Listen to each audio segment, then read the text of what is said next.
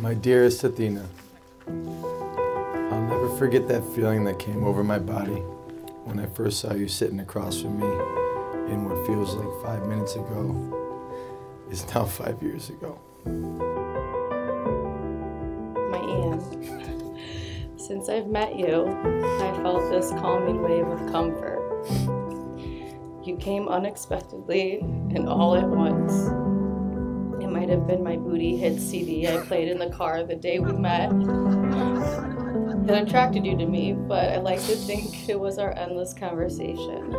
We both dove right in and straight to the deep end and never swam up for air.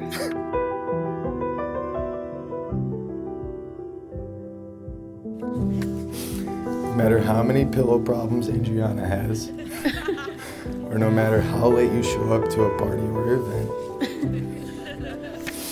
I take you to be my wife on this day, on any day, in any reality, in any universe or lifetime. I choose you every time. You are now a married couple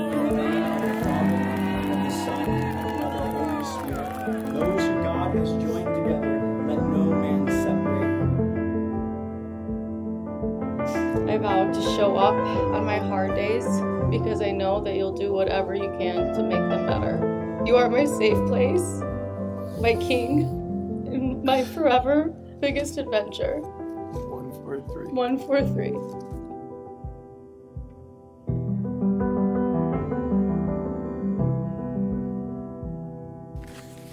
You are honest, you are respectful, you're kind, you're passionate, you're strong, and you're beautiful. And most importantly, you make me the best man I can be.